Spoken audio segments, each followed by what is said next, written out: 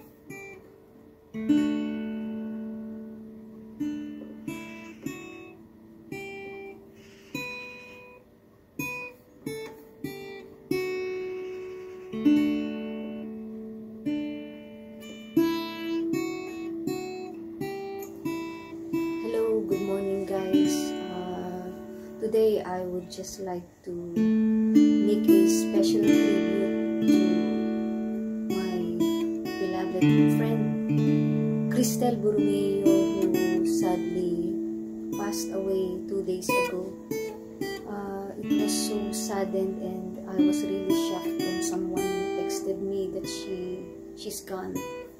The first thing that I mentioned and responded to that person is I just sent her back a message saying imposible. And then what I have done next is I went to Crystal's page in Facebook and I saw that she's on active status. So what I have done is called her straight away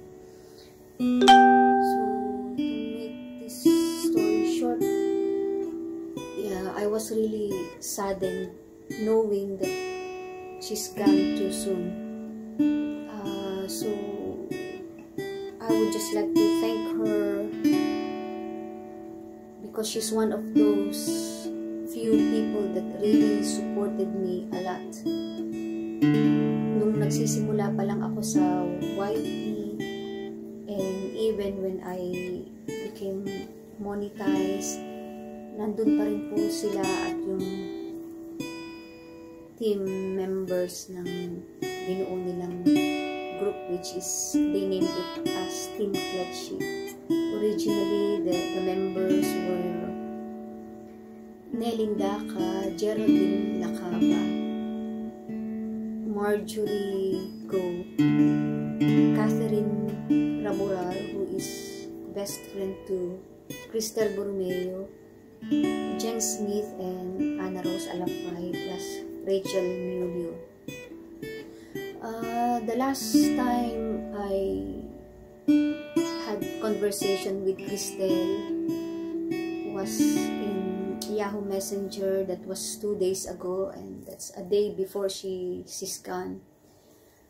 Uh, one thing I will not forget about Cristel is that she could be very, very makulit but in a good way. Uh, siya yung tipo na madalas nang aasar sa grupo pero she has a big heart especially to her family. She she is so selfless especially to her family, lalo na sa nanay niya because she's the one who's looking after her sick mom. Uh, kahit may sakit siya or nahihirapan na siya, tinitiis niya yan para lang she can give joy, happiness uh, to her friends and most especially her family.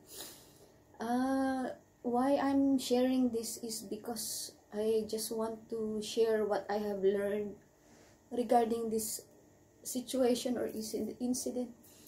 Um, I want you guys to realize what I have realized that life really is too short. Kung maibabalik ko lang, I could have done something for her.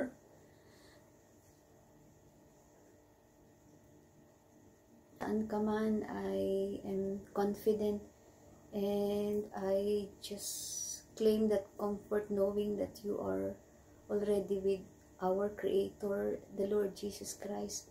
You are now happy, pain-free. Although, hindi maalis sa akin yung panghihinayang kasi ang dami mong pangarap. You just shared it with me three days ago and uh, kung nagkulang man ako sa pagtulong sa'yo, I'm sorry.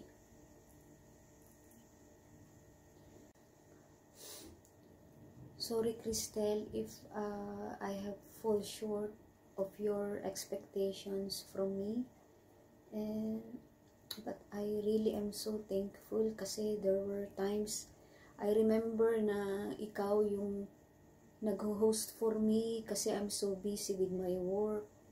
Uh, you're the one sending yung mga prices for GCash kapag nagpapalaro tayo sa aking channel. Mm, yung mga kalokohan nyo, mamimiss ko ng group. Alam ko na they were all heartbroken too. Uh, nalulungkot sila the way I, I feel right now because they're sending their love, panghinayang and messages kasi nga sa maaga mong pagkawala. Sa pamilya mo naman, don't you worry because I know the Lord will be the one to look after them. Yung mga gusto mong mangyari sa pamilya mo, uh, I know by God's grace, it will happen in His own perfect timing. Uh, again, kung nasaan ka man, salamat sa suporta. Hindi hindi kita malilimutan. Kristen. Thank you, thank you, thank you.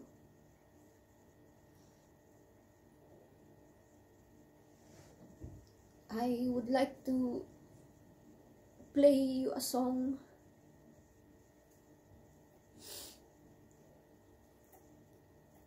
Kasi this short song that I will play for you bagay na bagay sa'yo kasi you really are a sunshine to someone's life, to many people's lives, and to my life. So, this is for you, Cristel. Thank you, Cristel, sa learning na nakuha ko sa buhay mo at sa pagpanaw mo. Uh, I learned, apart from life is too short, that we should really um, don't doubt or have a second thought. If someone really asks sincerely, then we really should be here, willing to lend someone else to support, help them in whatever way we can, and uh, thank you for that. This song is for you, and I know you have brought sunshine to people's lives, to your friends, to your family, and to me, you are my sunshine. So, this is for you, Christelle. You are